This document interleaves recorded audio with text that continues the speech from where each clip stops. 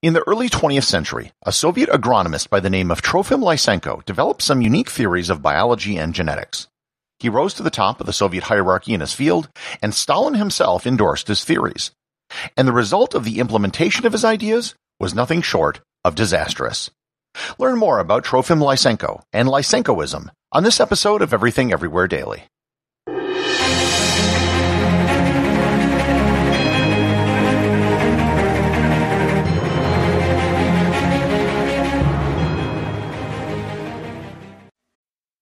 This episode is brought to you by Rad Power Bikes. What does getting outside mean to you? Is it going for a walk, a run, even a bike ride? What if that bike had a motor on it and allowed you to pedal or throttle to your destination? Even if that destination is simply getting back to fun. Rad Power Bikes designs electric bikes that let you do just that. They empower riders of all types to discover biking's benefits. Schedule a test ride today at radpowerbikes.com. The Soviet Union did excel in several areas of science and technology. They put the first satellite into orbit and the first human into space. They had very good mathematicians, theoretical physicists, chess players, and, while not science related, some of the greatest ballet dancers in the world. However, there were some areas in science and technology where they fell flat, and one area in particular where they were downright backward. This backwardness had devastating consequences for the Soviet people. The key player in this story is Trofim Lysenko. Trofim Denisovich Lysenko was born in 1898 in what was then the Russian Empire and what is today the city of Karlivka, Ukraine. He studied at the Kiev Agricultural Institute where he took an interest in agronomy. Lysenko grew up poor. He didn't actually learn how to read until he was 13, and he often dressed like a peasant when he attended university. When the communist revolution came around, he was totally on board. His poor background and his manner of dress made him very popular in communist circles. He was dubbed the barefoot scientist. In fact, he was so on board with communism, his political views began to influence his scientific research. His early research focused on trying to grow peas in colder climates, which would have been a pretty handy thing to be able to do in Russia. One of the things he discovered is that peas could sprout faster when the seeds were kept at lower temperatures. Today, people who have investigated Lysenko's research have concluded that he probably fabricated his results. Fabrication of results aside, even if his conclusions were correct, it would just be something that was a property of the peas he was studying. Those peas sprout at lower temperatures. Enough said. However, Lysenko took the conclusion of his research to a whole other level. He thought he was actually converting one species into another by exposing it to cold temperatures. He also thought he could take winter wheat and turn it into spring wheat, which were two totally different species, by exposing winter wheat seeds to cold temperatures. This actually can allow winter wheat to sprout in the spring, but this had been known for centuries, and it doesn't make it a whole different species. The Soviet newspapers praised him in the late 1920s for his revolutionary work, which was the product of new Soviet thinking and would pave the way for an agricultural revolution. What Lysenko had actually done was rediscovered Lamarckism. What is Lamarckism, you might be asking? In the early 19th century, the theory of how biological traits were passed from generation to generation was developed by a French zoologist by the name of Jean-Baptiste Lamarck. Lamarck's theory held that acquired characteristics from the parent would be passed along to its offspring. For example, if a blacksmith worked with a hammer for years and developed muscles in his arm, then Lamarckism posited that muscular arms would be passed down to the blacksmith's children. The Lamarckian explanation for why giraffes had long necks is that they would stretch their necks to reach food, which would actually make their necks longer. Once they acquired long necks, their offspring would now have long necks as well. Anyone who's taken even a semester of high school biology knows that this isn't how it works.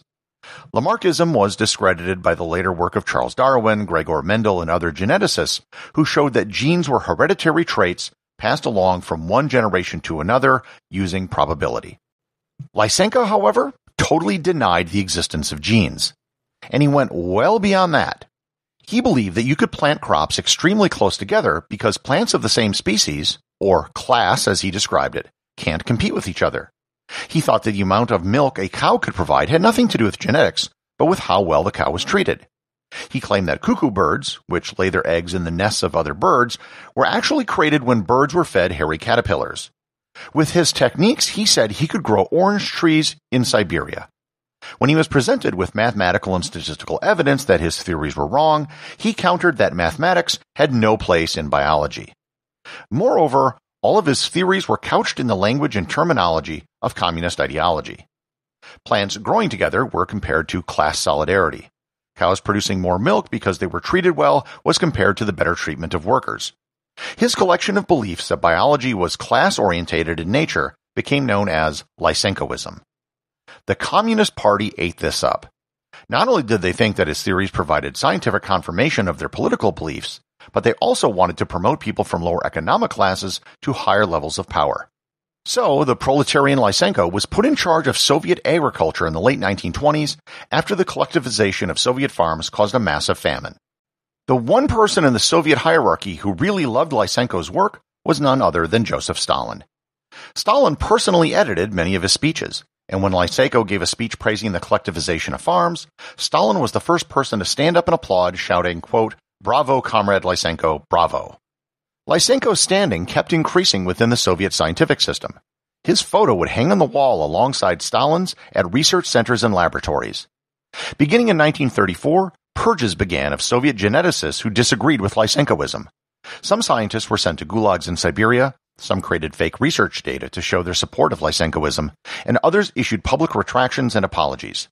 Some prominent geneticists were executed, including such names as Israel Agol, Grigory Karpechenko, and Grigory Nadson. In 1940, Lysenko was appointed the head of the Institute of Genetics within the USSR's Academy of Sciences. It was in 1940 when the man who was perhaps the greatest Soviet geneticist, Nikolai Vavilov, was imprisoned. Vavilov was a fierce critic of Lysenko and feared that his pseudoscience would hurt Soviet agriculture. Vavilov was the namesake of the Vavilov Institute in Leningrad, which held one of the world's greatest seed banks. Researchers at the Vavilov Institute protected the seed collection with their lives during the siege of Leningrad despite the famine which raged in the city. Some of them literally died of starvation rather than eating the seeds. Vavilov died in 1943 in a Soviet work camp in Siberia of starvation. The Soviet Union, who probably had the world's greatest geneticists prior to the rise of Lysenko, had their entire community gutted. Over 3,000 genetic scientists were purged in one fashion or another. During this entire time, the science of genetics was advancing in the rest of the world. Lysenko's theories were known in the West, and he was dismissed as a crank and a crackpot. The British biologist Sidney Harland said Lysenko was, quote, completely ignorant of the elementary principles of genetics and plant physiology, end quote. Lysenko brushed aside this criticism as simply politics. He denounced Western genetics as bourgeoisie and that Western science was imperialist and fascist. He called the geneticists that studied genetics and fruit flies, quote, fly lovers and people haters. In 1948, genetics was officially declared a bourgeoisie pseudoscience, and Lysenkoism became the official scientific policy of the Soviet Union. Lysenko's influence didn't start to wane until 1953, when two momentous things happened. Stalin died, and the DNA molecule was discovered. With Stalin gone, many of the Soviet geneticists that were purged were rehabilitated. It became possible once again to present theories that were counter to Lysenkoism. However, Lysenkoism still lingered on in the Soviet system, and it had some limited support under Khrushchev. It wasn't until the mid 1960s that it was finally removed as an official policy. In 1964, Nobel Prize winning physicist Andrei Sakharov denounced Lysenko at the General Assembly of the Academy of Sciences of the USSR. He said, quote, Lysenko is responsible for the shameful backwardness of Soviet biology and of genetics in particular, for the dissemination of pseudoscientific views, for adventurism, for the degradation of learning, and for the defamation, firing, arrest, even death of many genuine scientists. End quote. After this, and the removal of Khrushchev from power in 1964, the floodgates opened and the tables turned on Lysenko the president of the Academy of Sciences declared that the prohibition of criticizing Lysenko was over. He was removed from all of his positions and became a pariah in Soviet scientific circles. Surprisingly, though, his photo was still reportedly hanging in some research facilities in the Soviet Union as late as the 1980s. However, by the time he was removed, the damage had already been done. Soviet agricultural output had actually gone down in the decades that Lysenko had influence, despite it going up dramatically almost everywhere else on Earth.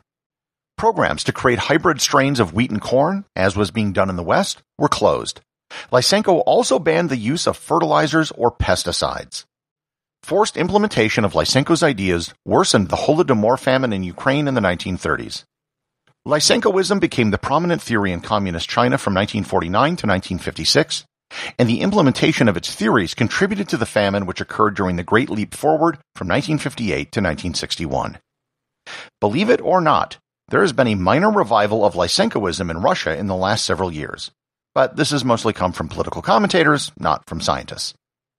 As much as the Soviet Union managed to make advances in disciplines such as rocketry and nuclear science, they literally went backwards in the life sciences. By the end of the Cold War, they were decades behind the West. And this was entirely due to a single man who was able to impose his theories on a country, not through the scientific method, but via force. Everything Everywhere Daily is an Airwave Media podcast. The executive producer is Darcy Adams. The associate producers are Thor Thomsen and Peter Bennett. Today's review comes from listener Dylan001 over at Podchaser. He writes, I've listened to every episode since I first heard Gary mention this podcast on This Week in Travel. It's been part of my daily commute, and I always learn something new, whether it's a new subject completely or something new on a topic I already know. I've recommended your podcast to family and friends, and we often chat about recent episodes. Hi, Teresa. Thanks, Dylan. Thanks for sharing the show with your friends and family. And the Completionist Club is starting to get rather crowded. But thankfully, the clubhouse has room for an infinite number of people. Remember, if you leave a review or send me a boostagram, you too can have it read on the show.